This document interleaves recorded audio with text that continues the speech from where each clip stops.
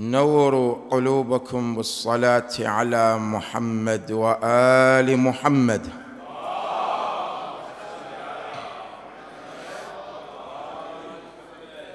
ثانيا غفر الله لكم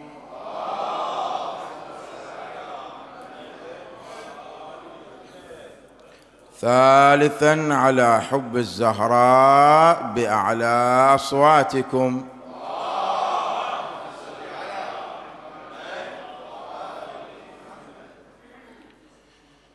بسم الله الرحمن الرحيم.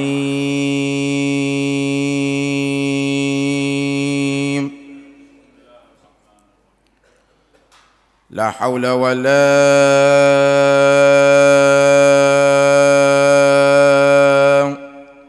قوة إلا بالله. العلي العظيم.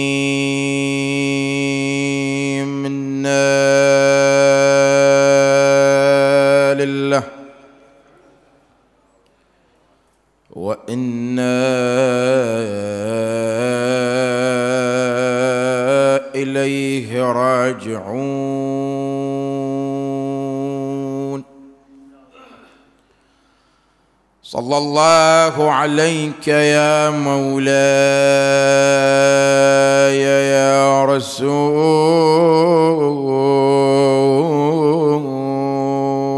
الله. صلى الله عليك وعلى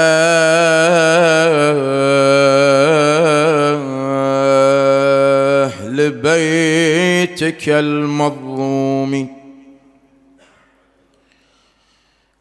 المشردين عن الأهل والأوطان.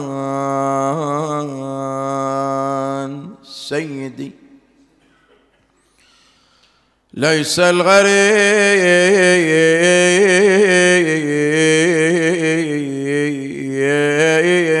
غريب الدار والوطن. بل الغريب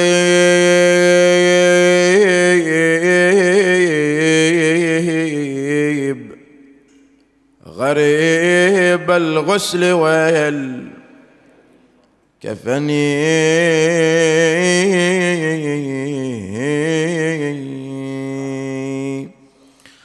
روحي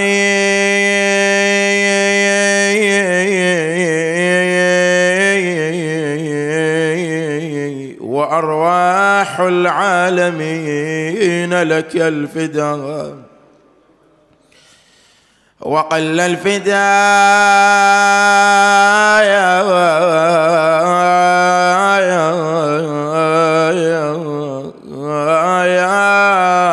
مسلوب العمامة والرداء شهيد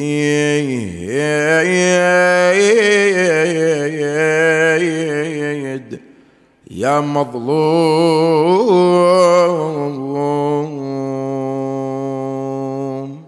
كربلاء يا ليتنا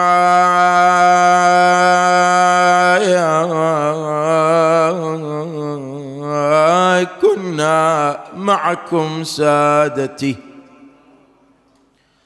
فنفوز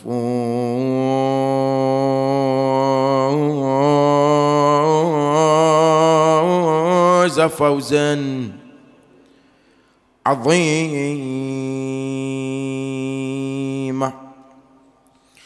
خان الزمان خان الزمان بنا فشتتنا كما يا خانت بنو صخر ببيعته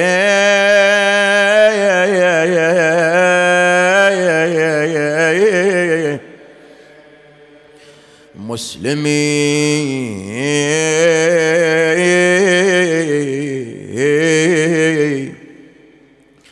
لم أنسه.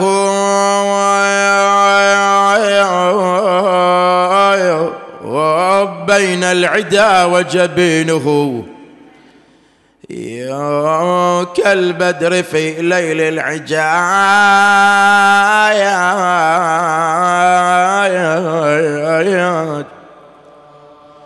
المظلم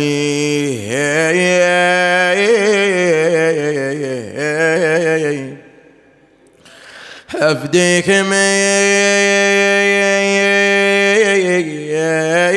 بطل مغيب إن سطع يا لف الجموع مؤخرا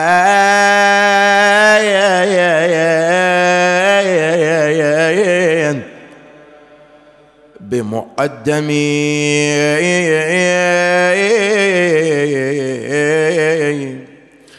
الشهم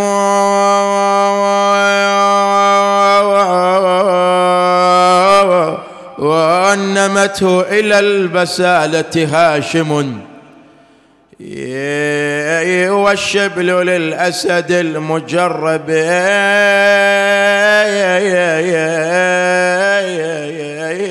ماجور ينتمي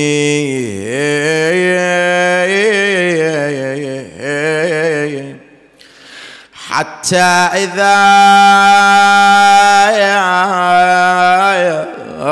ما أثخنوه بالضبا حتى إذا ما أثخنوه بالضبا. ضربا وفي وسط الحفايا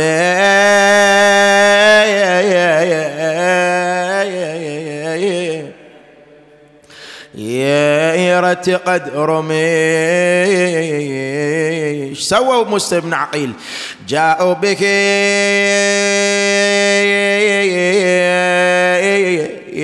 إلى ابن زياد فيه فمذرأة يا للقصر وفاه غيره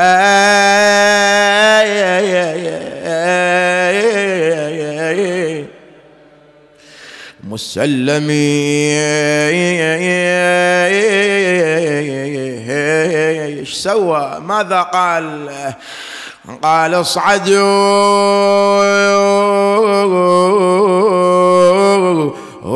به للقصر وارموا جسمه. يا ومن الوردين اخضبا.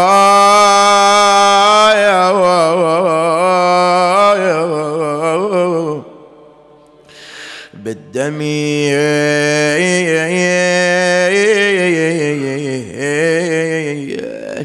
إلى أن قال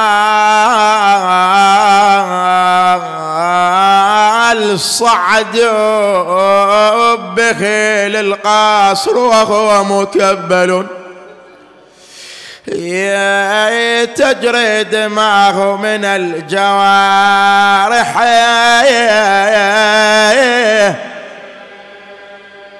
والفم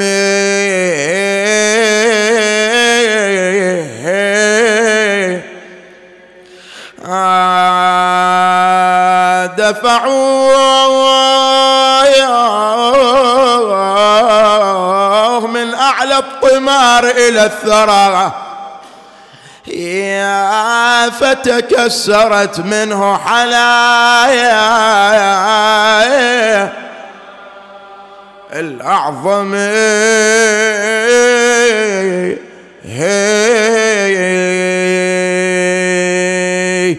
مسلم يا عقله هجمة الفرسان والخيل. قوم استعد لطرادهم يا ابن البحار عليه أقبل الجيش بغارته. مطفح ردك كل الأسف لنك يا أبو الطاهر وحدك. شرب بعزمك واشهر البتار بدك. نوره يشيع مثل البدير لو تشل تشل الليل. آه قالها يا طاعة وهالهلات تنخاه طاعة. وجهك علي لا ينخطف بالخوف ناعة. آه هالجيش شنو تكثر بعين جموعه لازم بحسيفين شيخ الوجل والويل يقول يا حي بطاهر بطل هاشم وعدنان راواهم بفعل الفحل داحي البيبان. حزباب طوعة وفرت من الخوف كوفان لابس دوم الغنم من الضيقة متخيل. والله وين الذي ودى لأبو اليمة بشارة؟ مسلم لعد ذاك الفزع بالسيف دارة. والله ظلت تهاوي الزلم يمنى ويساره وتضحك على فرسانها وتتصاغل الخيل يعز على الموالي على محب مسلم باب الحوائج.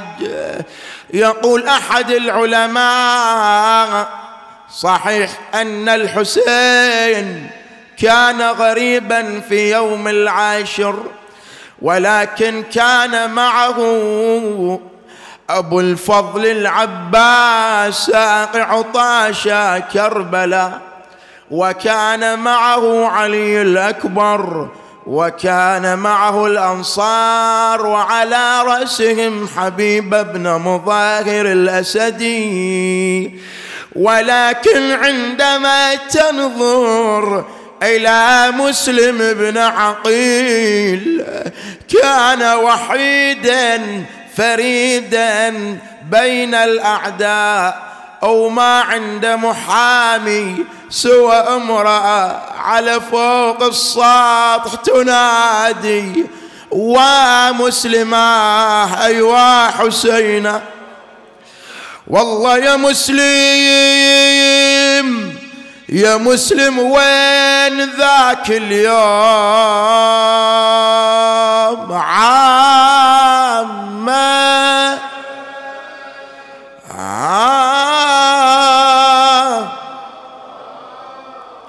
والله يجيك عاينك غارج بدمه آه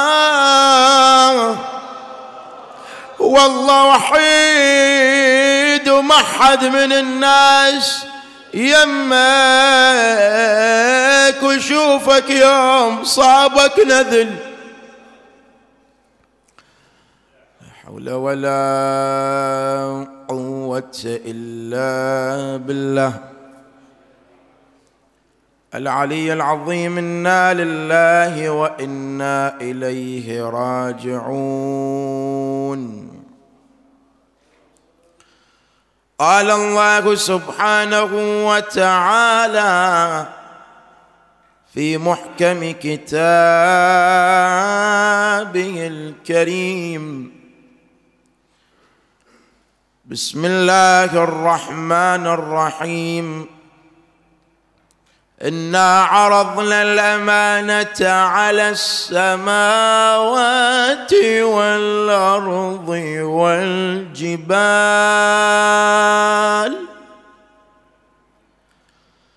فابين ان يحملنها واشفقن منها وحملها الانسان وحملها الإنسان إنه كان ظلوما جهولا. صدق الله العلي العظيم. لقبول الأعمال وتعجيل في ظهور الإمام. صاحب الزمان عطروا مجالسكم بذكر الصلاة على محمد وآل محمد.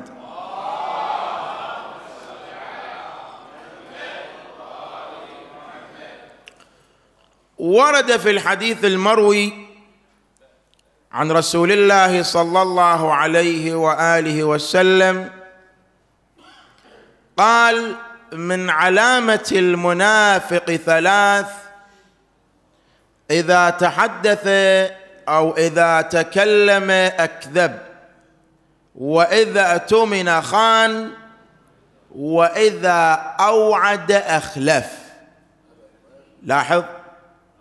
مولانا هذه علامات ثلاثة.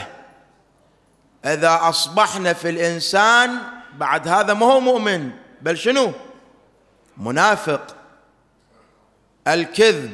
وبالأخص إذا صار يكذب كثيرا والعياذ بالله. والكذاب هو عدو الله. هذا اللي يكذب دائما هذا هو عدو الله. ولا يجوز الكذب ابدا إلا في مواقع منها في الحرب مثلا. عندما تحارب الفئة فئة المسلمون مع الكفار لاحظ فهنا يجوز الكذب على العدو. العدو يسأله فلان كم عددكم؟ كم قواتكم؟ ها؟ زين يصير يتكلم بكلام الصدق والصراحة. لا لا يجوز. لأنه إذا قال إحنا عددنا هكذا إحنا قواتنا هالشكل بعدين راح بالواقع يستفيد من هذه الفرصة العدو. بل يقول له إذا عدد وعددهم عشرة يقول له إحنا مئة أو ألف. حتى هنا العدو يخاف يصير عنده رعب. لاحظ؟ ويجوز الكذب قال إذا مثلا واحد من المؤمنين يريد يصلح بين أخوين أو بين صديقين. زين يروح يقول له فلان ترى فلان يحبك ويحمد بيك ودائما يجيب طاريك وهكذا. يروح يم الآخر يقول له بهذا الكلام الرائع حتى شنو؟ حتى يصلح ما بينهما. وقيل على أنه الكذب أيضا يجوز في نجاة المظلوم من الظالم. مولانا هذا مظلوم وانت تدري بهذا مظلوم. والظالم قاعد يبحث عنه حتى شنو؟ يقتله أو حتى يأذيه. زين. يجي يسألك فلان هل تدري فلان أين هو؟ زين. إذا هو مظلوم وانت تدري بوين. إذا تكلمت بالواقعية وهنا لا يجوز لأن راح هذا الظالم راح ياخذه ويقتله زين؟ أو ياذيه ها؟ فهنا لا يجوز. بعد وين يجوز الكذب؟ قال أحد العلماء أيضا ويجوز الكذب على الزوجة المؤذية إذا كانت تؤذي زوجها. لاحظ؟ ولذا أيها الموالي اعلم على أن الصدق بالواقع هي كلمة المؤمنين. ولذا في دعاء كميل الإمام علي بن أبي طالب يقول يا حبيب قلوب يعني ينادي الله سبحانه وتعالى. بعد عليكم السلام. ونقض العهد مولانا. العهد وما أدراك ما العهد. افتح القرآن الكريم. بسم الله الرحمن الرحيم. إن العهد كان مسؤولا. دير بالك أيها الموالي. إذا تواعد واحد من الخوان واحد من المؤمنين بعدين لا تنقض العهد. وإذا تدري بنفسك على أنه أنت تنسى زين اكتب أو اكتب بالنقال أو قل الجماعه اللي يذكرونك بالموعد. ما يصير انت تواعد لأن هذا يصير من علامة المنافق والعياذ بالله. آه إي نعم. إذا واحد واعد وبالاخص مثلا واحد يجي من طريق الغش. كما يقول الإمام الصادق عليه السلام ليس منا من غش مؤمنا أو مسلمة. زين واحد يجي من طريق الغش يغر الناس ويقول لهم تعالوا أنتم منتخبوني فبآرائكم أنا أصعد إلى المراحل العالية ها؟ بالبرلمان أو بمجلس أو كذا وأنا راح أسوي لكم كذا وكذا. الناس هم تجي تنتخبه بآرائها يقول هذا مصلح هذا بالواقع ينفع ينفعنا ولكن عندما يصعد بآرائهم بعدين راح ينسى المواعيد. وينسى العهد. القرآن شنو يقول في يوم القيامة عنهم؟ ما يرحون الجنة هذولي. يقول بسم الله الرحمن الرحيم واقفوهم أحسنت إنهم مسؤولون. هذول ما يرحون للجنة هناك عندهم مواقف. زين؟ الدنيا مولانا الدنيا في حلالها حساب. هذا الحلال الله راح يحاسبك عنه بيوم القيامة. مو بعد الحرام.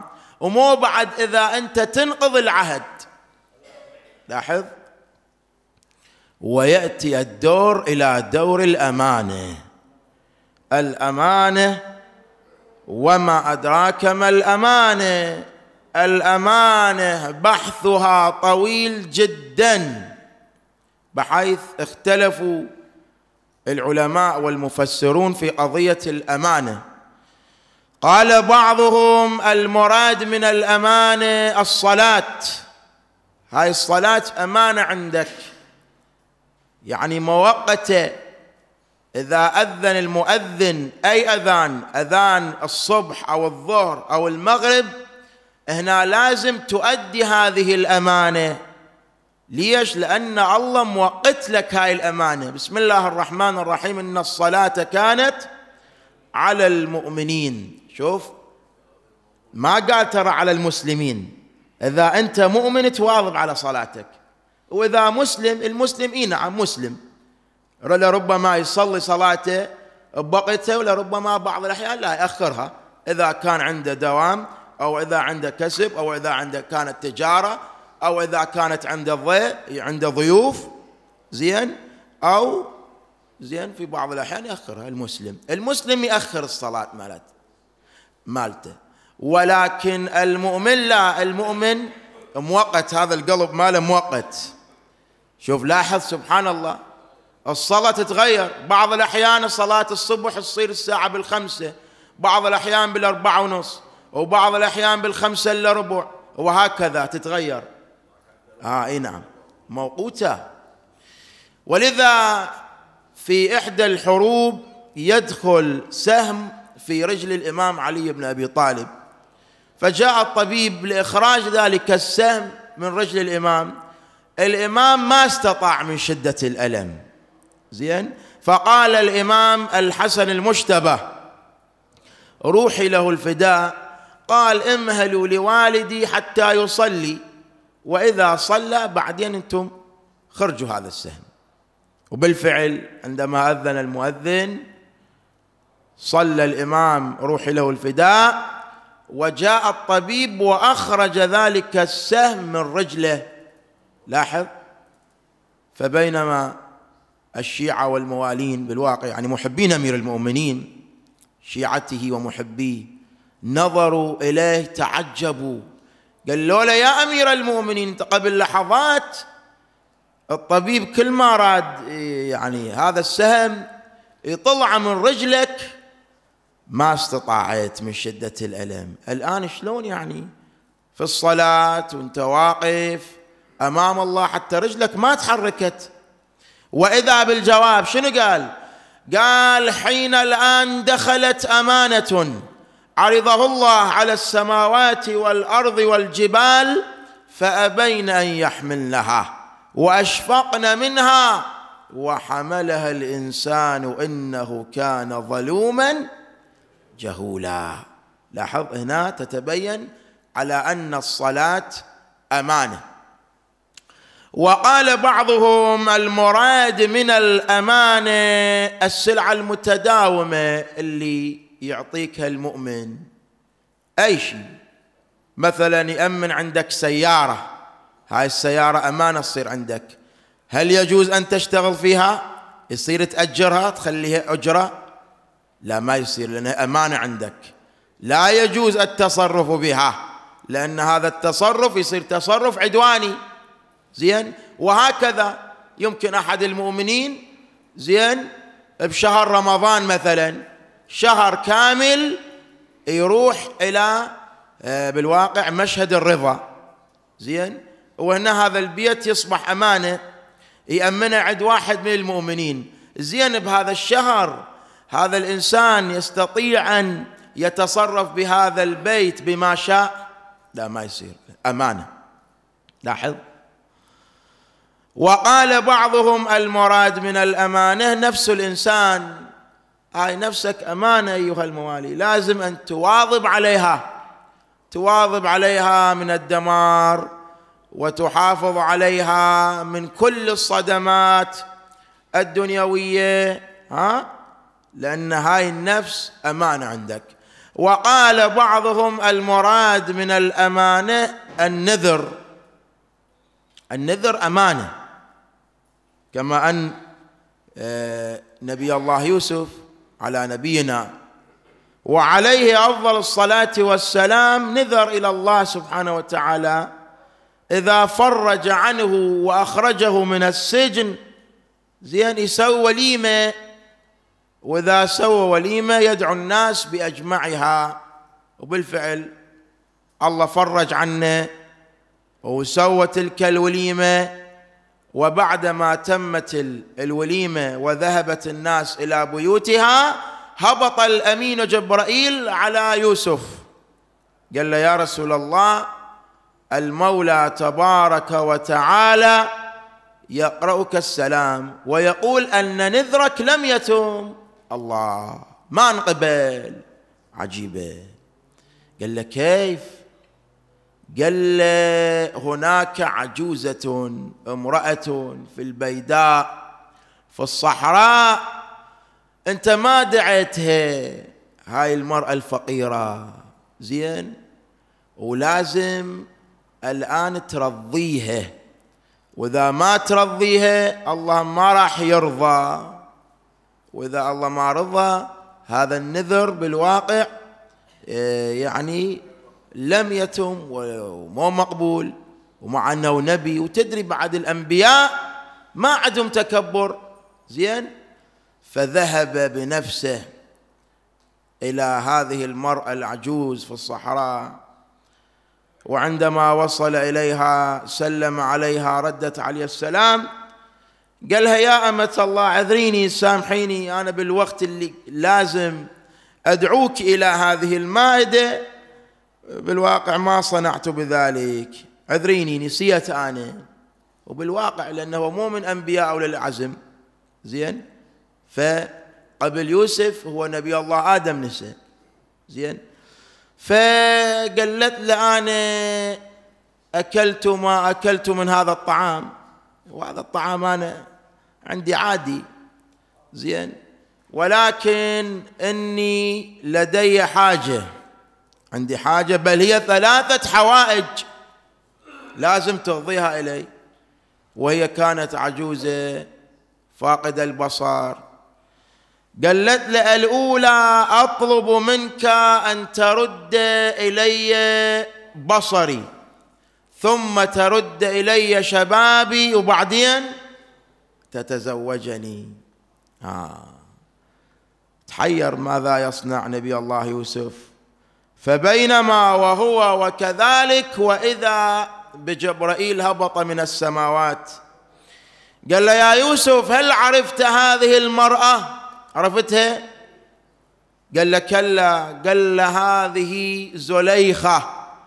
وقد مر بها الزمان وأصبحت الآن من المؤمنات من أهل الإيمان. زين؟ وهي تابت إلى الله توبة نصوحة. فالآن المولى تبارك وتعالى سيرد إليها بصرها وشبابها وأنت كرامة منا. شنو؟ لازم تتزوجها. لاحظ مولانا؟ يدل على أن النذر أمانة. إذا واحد نذر لا ينسى هذا النذر ماله. إذا قال نذر علي لحسينية بني هاشم أو لحسينية قمر بني هاشم أو لمسجد فلان أو نذر علي للعباس أو لأم البنين. طبعا علماءنا يقولون لازم هاي صيغة النذر هم يقراها. لاحظ؟ أها. بعدين إذا الله مثلا يعني يطلب هو إذا رزقني الله ولدا أو بيتا أو زيارة. زين أنا بعدين أفعل كذا بصيغة النذر. والله نطاع هذا النذر شنو راح يصير؟ آه هذا النذر راح يصير أمانة. ولازم لازم يكتبه بالوصية. إذا عمل به لا بأس. ولكن أكو نذر اكو نذر هذا دائما. يعني واحد ينذر يقول يعني أنا مثلا أنذر لوجه الله يوم يعني كل سنة في يوم السابع من محرم لأبي الفضل العباس وليمة.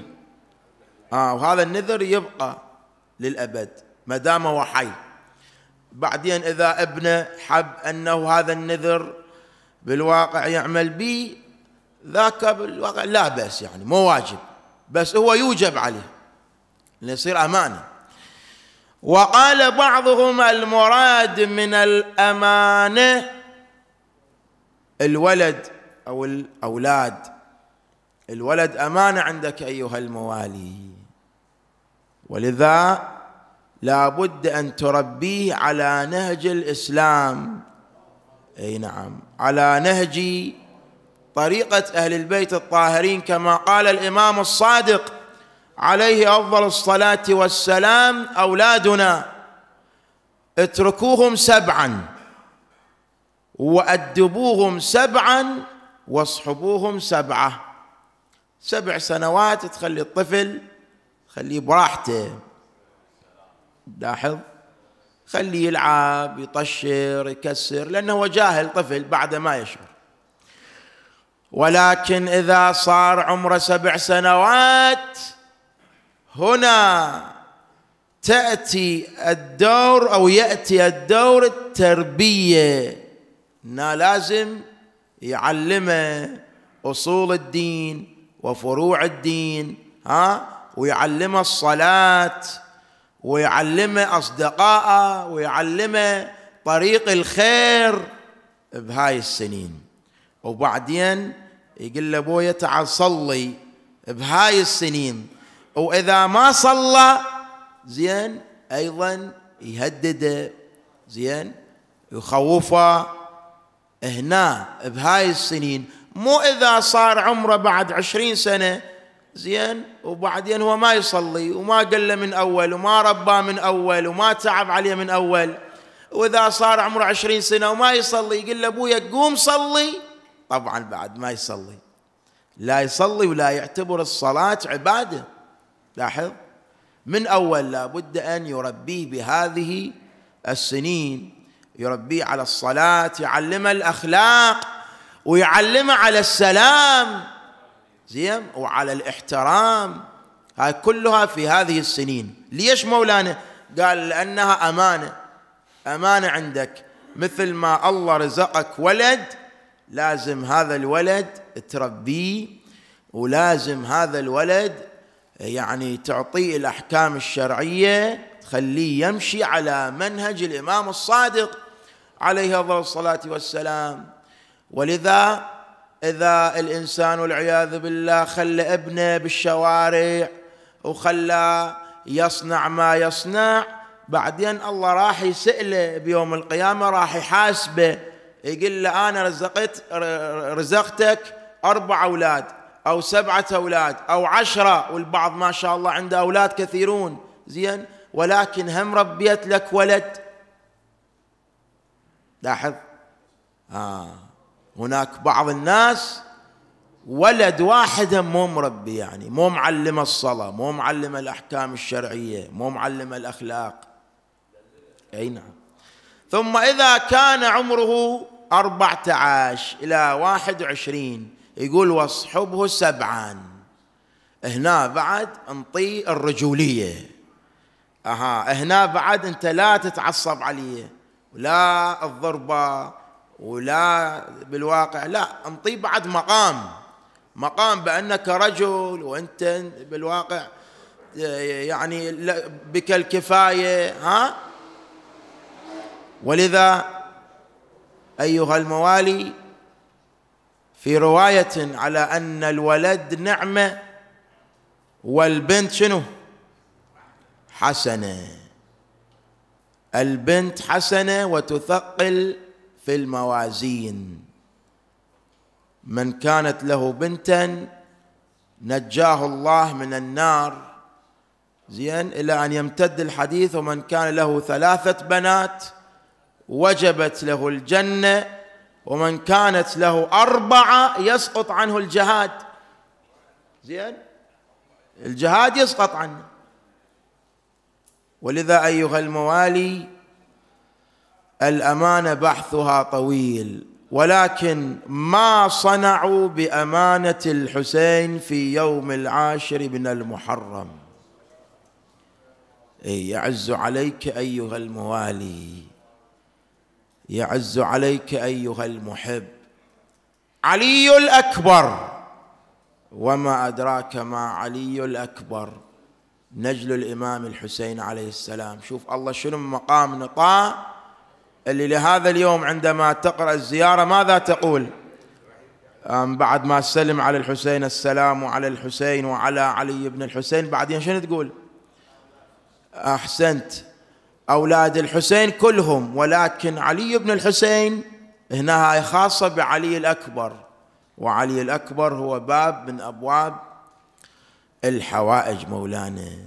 ولذا عندما رأى الحسين عليه السلام في يوم عاشوراء عندما تكاثرت عليه الرجال فكانت ليلى في الفسطاط في الخيمة تنظر إلى وجه الحسين مسرورا بشجاعة علي الأكبر. ولكن بعد لحظات تغير لون وجه الحسين. لماذا؟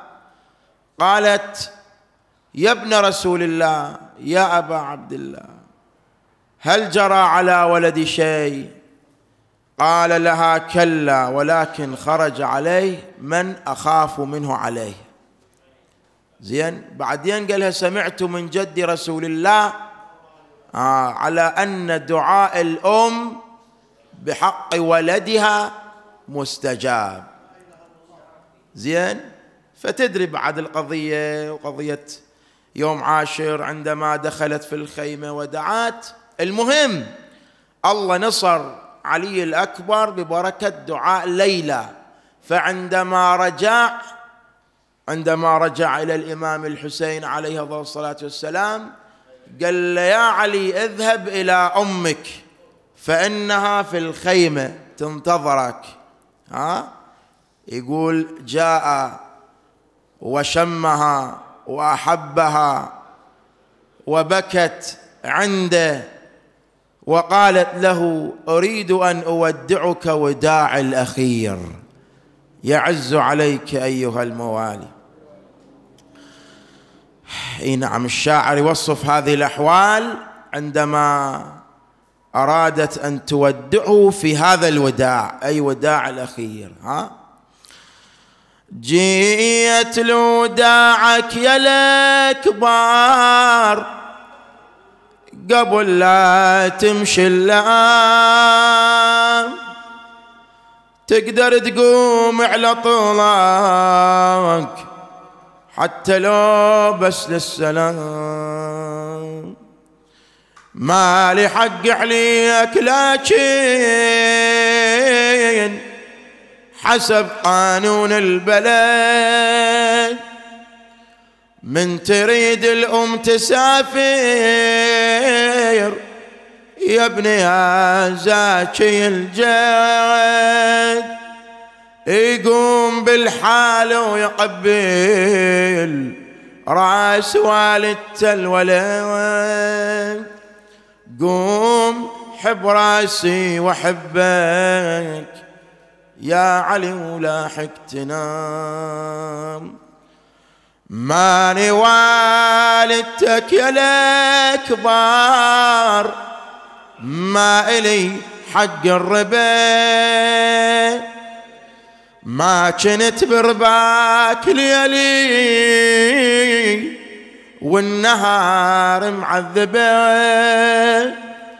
كل عذاب وسخر ليلي كل لوليدي هبايا لا تصير الفكر يا ابني ولا يهمك هالكلام. يا علي الأكبر اخبرني وين جرح اليوجعان قل لي بيا محل صاير. يا علي وخل اسمعك بل كن نداويك يا ابني وبدوانا ننفعك وبل كن شافيك ربك يا ابن زمزم والمقام. والله خلا ما ردته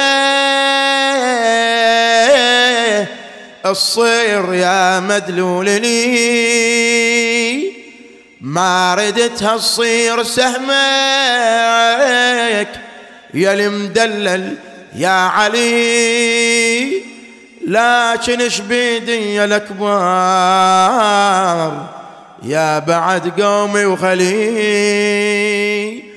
هاي شان النجم يبقى وينخسف بدر التمام. تقل في أمان الله يا ابني بريت أنا ذمتك عادها من تبر ذمتي أو لا تقصر غيرتك. نريد نتفارق يا الأكبار هاي حدها شوفتك. هاي تالي العهد يا ابني هاي يا وليد الختام. اسالك اللهم وندعوك بحق فاطمة الزهراء وأبيها وبعلها وبنيها والسر المستودع فيها. يا الله شافي وعافي كل مريض من مرضى المسلمين. أيد حماة الدين. أخوتي الحاضرين اللهم احفظهم فردا فردا. المسببين والمؤسسين لهذا المأتم الشريف.